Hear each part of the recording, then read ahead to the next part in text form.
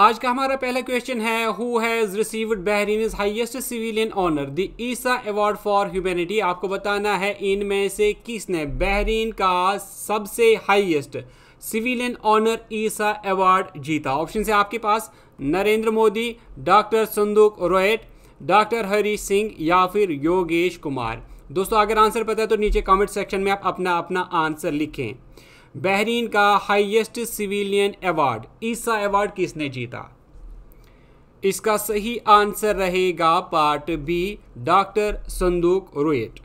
दोस्तों, ईसा अवार्ड के बारे में कुछ इंपॉर्टेंट पॉइंट्स आप ज़रूर याद रखें। ईसा अवार्ड ये सर्विस टू ह्यूमैनिटी के लिए दिया जाता है और ये बहरीन का हाईएस्ट सिविलियन अवार्ड है। इस अवार्ड में वन मिलियन यूएस डॉलर्स का प्राइज दिया जाता है, साथ में सर्टिफिकेट दी जाती है और एक गोल्ड मेडल भी दिया जाता है।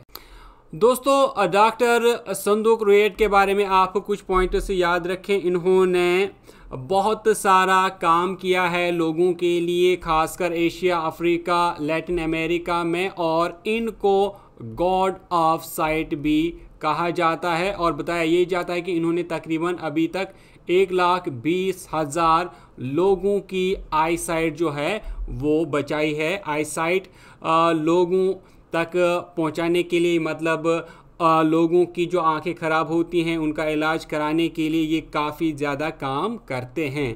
तो गॉड ऑफ़ साइट इनको कहा जाता है। दोस्तों इनके अलावा भी इनको बहुत सारे जो अवार्ड्स हैं वो मिले हैं। ऑस्ट्रेलिया की तरफ़ से इनको द ऑर्डर ऑफ़ ऑस्ट्रेलिया 2007 में मिला। इसी तरह इनको एशिया सोसाइटी ऑफ़ न्यूयॉर्क की तरफ़ से एशियन गेम चेंजर अवार्ड मिला और अब हम जानेंगे कि ईसा अवार्ड क्या है। दोस्तों, ईसा अवार्ड जो है, जैसे ऑलरेडी मैंने बताया कि ये सर्विस टू ह्यूमैनिटी के लिए दिया जाता है और इसको इस्टेब्लिश किया गया था 2009 में और इसको इस्टेब्लिश किया था बहरीन के किंग ने। इस अवार्ड को बहरीन के एक रूलर, एक किंग, जिनका नाम शेख ईसा बिन सलमान अल खलीफा है, उनके नाम पे इस अवार्ड को नाम दिया गया है, क्योंकि ये जो रूलर हैं, यानी शेख ईसा बिन सलमान अल खलीफा ये बहुत ही ह्यूमनिटेरियन मिजाज के थे, लोगों को बहुत ज़्यादा ये जो है, मदद करते थे और उनकी काफ़ी ज़्यादा फ़िक्र वगैरह करते थे तो इन्हीं के नाम पे इसको ईसा अवार्ड रखा गया है। जैसे मैंने पहले कहा कि इस अवार्ड को 2009 में इस्टेब्लिश किया गया था और इसको बहरीन के किंग हमाद बिन ईसा अल खलीफा ने इस्टेब्लिश किया था 2009 में। इसके अलावा दोस्तों याद रखें कि बहरीन के प्रेजेंट किंग है हमाद बिन ईसा अल खलीफा और कैपिटल है मनामा और करेंसी यहाँ की है बहरीनी दीनार। हमारा आज का नेक्स्ट क्वेश्चन है which airport won the prestigious best sustainable green field airport award आपको बताना है इंडिया में इनमें से किस एयरपोर्ट ने best sustainable green field airport award जीता? ऑप्शन है आपके पास, Indira Gandhi international airport Goa Manohar international airport Cochin international airport या फिर राजीव गांधी इंटरनेशनल एयरपोर्ट। शबाज दोस्तों, अपना अपना आंसर लिखें। इसका सही आंसर रहेगा पार्ट बी, गोवा या फिर new Goa Manohar international airport. हमारा नेक्स्ट क्वेश्चन है who is the first Indian American politician to be elected as the lieutenant governor of US state of Maryland आपको बताना है, उस इंडियन अमेरिकन पॉलिटिशियन का नाम, जिसको अमेरिका में पहली बार लेफ्टिनेंट गवर्नर इलेक्ट किया गया मैरीलैंड यूएस स्टेट में। ऑप्शन है आपके पास मानसीजा, आयुषी सिंह, अरुणा मिलर या फिर वरुणा सिंह। शबाज दोस्तों, आपने अपना आंसर लिखें। मैरीलैंड, यूएस में किस इंडियन अमेरिकन को एज लेफ्टिनेंट गवर्नर इलेक्ट किया गया है। इसका सही आंसर रहेगा पार्ट सी, अरुणा मिलर। दोस्तों, अरुणा मिलर ये हैदराबाद में पैदा हुई हैं और इन्होंने एज लेफ्टिनेंट गवर्नर जो शपथ है, वो भगवत गीता पर हाथ रखकर उन्होंने अपना ओथ लिया। यहाँ पर ये भी याद रखें कि अरुणा मिलर मैरीलैंड की टेंथ लेफ्टिनेंट गवर्नर बनी। हमारा आज का नेक्स्ट क्वेश्चन है India first national assessment regulator Parakh has been notified by which of the following आपको बताएँ, इनमें से किसने परख जो कि इंडिया का पहला नेशनल असेसमेंट रेगुलेटर है, इसको नोटिफाई किया?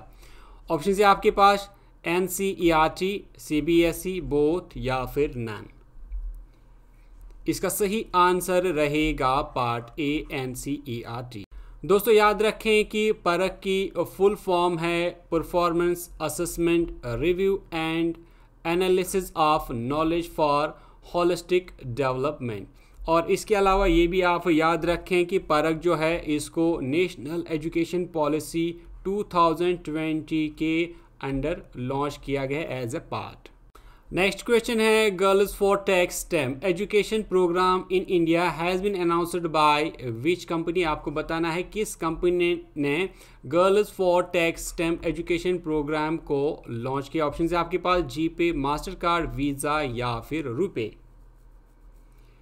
इसका सही आंसर रहेगा पार्ट बी मास्टर कार्ड दोस्तों, इस प्रोग्राम के अंडर इंडिया में तकरीबन वन लैख जो फीमेल स्टूडेंट्स हैं, उन तक पहुँचा जाएगा साल 2024 तक। और अगर हम मास्टर कार्ड की बात करें तो इसको पहले इंटर बैंक कहा जाता था। बाद में मास्टर चार्ज इसका नाम आया और इसको फाउंड किया गया था 1966 में। इसका हेड क्वार्टर न्यूयॉर्क में है। हमारा आज का नेक्स्ट क्वेश्चन है who has become the youngest and the first LGBTQ women to be sworn in the Oakland City Council in United States of California option आपके पास कंपना सिंह जनानी रामचंद्रन मोहिनी सिंह या फिर अर्शी जैक्सन। इसका सही आंसर रहेगा part B, Janani Ramachandran. Next important question है the NASA JAXA Geotail studied the earth which protective layer आपको बताना है नासा जैक्सा जियोटेल जो कि एक स्पेस क्राफ्ट है, इसने अर्थ की कौन सी प्रोटेक्टिव लेयर को स्टडी किया? ऑप्शन है आपके पास मैग्नेटोसिफियर ट्रोपोसिफियर एक्जोसिफियर या फिर मेजोसिफियर शबाज दोस्तों अपना अपना आंसर लिखें इंपॉर्टेंट क्वेश्चन है। इसका सही आंसर रहेगा पार्ट ए, मैग्नेटोस्फेयर। हमारा नेक्स्ट क्वेश्चन है according to European Union report the Indian economy is likely to touch the 26 trillion mark by which year आपको बताना है यू यूरोपियन यूनियन रिपोर्ट के मुताबिक इंडियन इकोनॉमी जो है, ये किस साल तक 26 ट्रिलियन डॉलर मार्क को पहुँचने वाली है? ऑप्शन है आपके पास 2024, 2034, 2041 या फिर 2047 इसका सही आंसर रहेगा पार्ट डी टू थाउज़ेंड तक इंडियन इकॉनमी जो है ये 26 ट्रिलियन डॉलर तक पहुँच जाएगी according to European Union report हालाँकि दोस्तों गवर्नमेंट ऑफ़ इंडिया ने फाइव ट्रिलियन का वादा किया था, जो अभी तक पूरा नहीं हुआ। अब लोगों को एक नया सपना दिखाया जा रहा है चौबीस ट्रिलियन डॉलर्स का। पहले फाइव ट्रिलियन तो कंप्लीट हो जाए, उसके बाद ट्वेंटी सिक्स ट्रिलियन जो है, उसका खाब लोगों को दिखाए। यहाँ पर अब रखा गया है 2047 जब इंडिया जो है अपना हंड्रेड ईयर ऑफ़ इंडिपेंडेंस जो है, वो मना रहा होगा। तो दोस्तों, ये थी कुछ इंपॉर्टेंट करंट अफेयर से रिलेटेड क्वेश्चन उम्मीद करता हूँ कि आपको वीडियो अच्छी लगी होगी। वीडियो अच्छी लगी तो वीडियो को लाइक करने के साथ साथ शेयर ज़रूर करें। दोस्तों, हम मिलेंगे आपसे एक नेक्स्ट वीडियो में। तब तक के लिए टेक केयर